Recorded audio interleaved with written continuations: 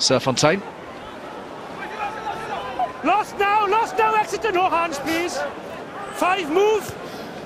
Jonny Hill, Aprasidze making the most of that, and the penalty forthcoming. Well, he might be young, Brian, but he knows what's what when it comes to scrum half play. You stole the words from right out of my mouth. Yeah, very, very clever. We deal with Actually, it, okay? He- he- he was. Yes, I know, I know.